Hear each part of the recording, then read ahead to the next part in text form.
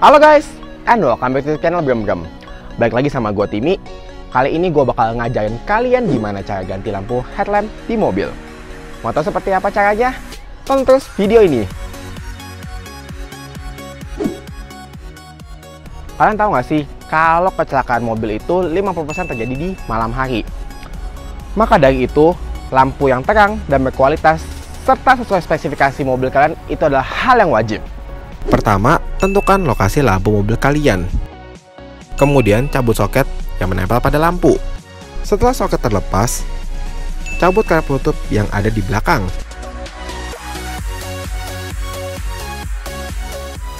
Perhatikan tanda panah yang ada pada karet penutup. Pastikan untuk memasang kembali, panah tersebut berada di atas. Jangan sampai kebalik. Cabut kawat pengunci lampu dengan cara menekan kawat tersebut ke bawah dan dibuka ke arah berlawanan.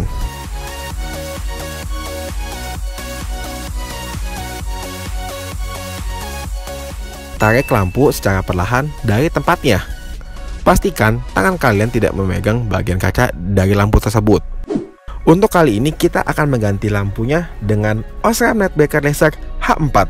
Keunggulan yang ditawarkan sama lampu ini adalah memiliki cahaya 130% lebih terang dibandingkan dengan lampu standar bawaan mobil.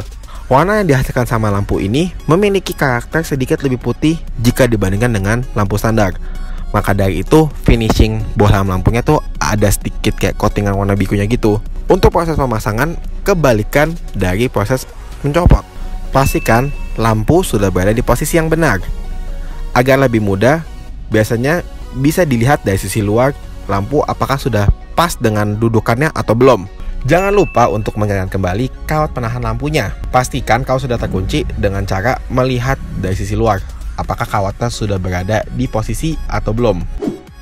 Pasang karet penutup dengan rapat.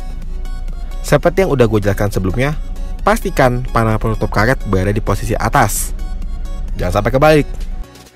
Jangan lupa untuk pasang kembali soket lampu ke posisi semula. Pastikan sebelum dikencangkan, posisi soket dengan terminal dari lampu sudah pas.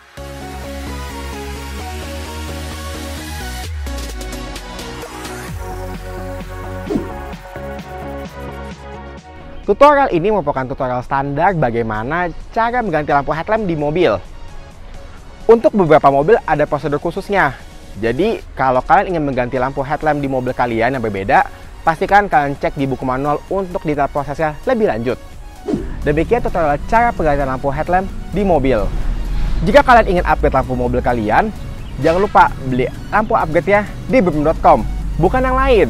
Jika kalian punya pertanyaan tentang soal tutorial ini kalian bisa komen di bawah dan jika kalian menyukai video ini jangan lupa tekan tombol like tekan notifikasi lonceng dan subscribe ke channel Bram Bram and see you next video bye bye